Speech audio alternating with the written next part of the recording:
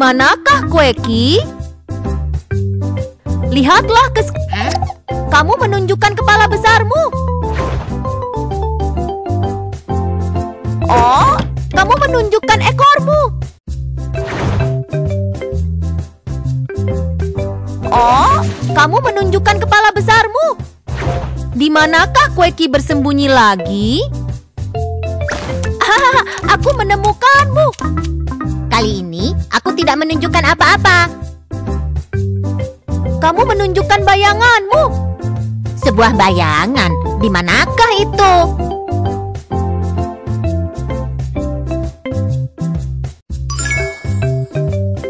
Halo bayangan.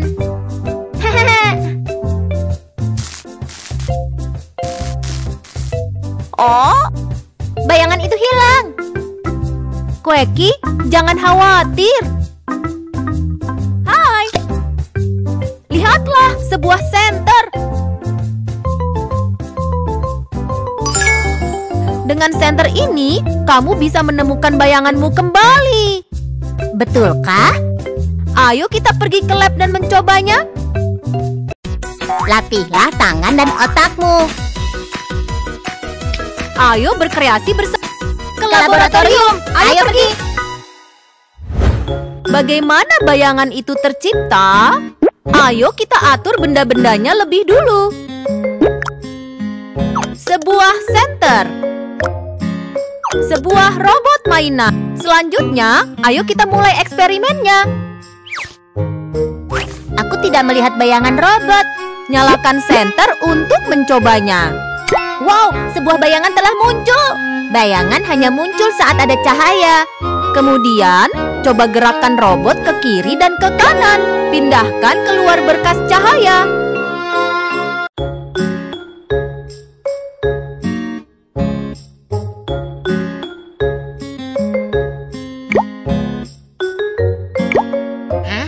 Bayangan robot telah menghilang lagi dan kemudian memindahkannya di depan cahaya.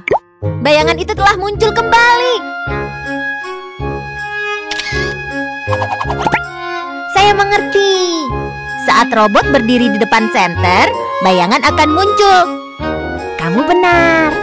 Kueki memblokir cahaya, lalu bayangan Kueki muncul. Selama cahaya diblokir di depan, akan ada sebuah bayangan. Namun, beberapa benda tidak mempunyai bayangan. Wah? Siapa yang tidak mempunyai bayangan? Ayo kita coba. Tempatkan mereka di depan cahaya. Blok bangunan. Sepotong kaca transparan. Bola mainan. Apakah kamu menyadari benda apakah yang tidak mempunyai bayangan jika terkena cahaya? Jawaban benar. Sepotong kaca transparan tidak mempunyai sebuah bayangan.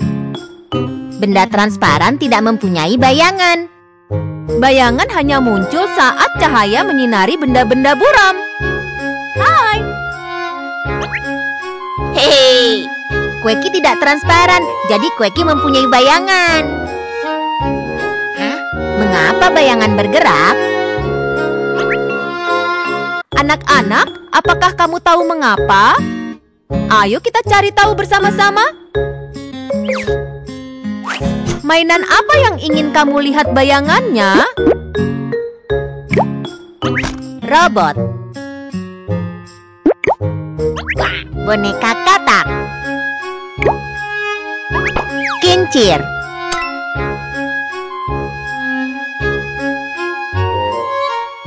Gerakan senter ke kiri dan ke kanan sepanjang garis putus-putus dan lihatlah apa yang terjadi pada bayangan.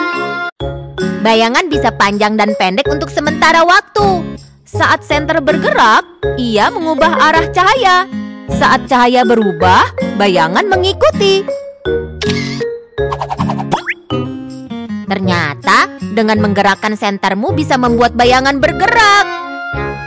Benar sekali, saat sumber cahaya bergerak, bayangannya akan berubah. Bayangan itu menyenangkan. Ayo bermain dengan teman bayanganmu.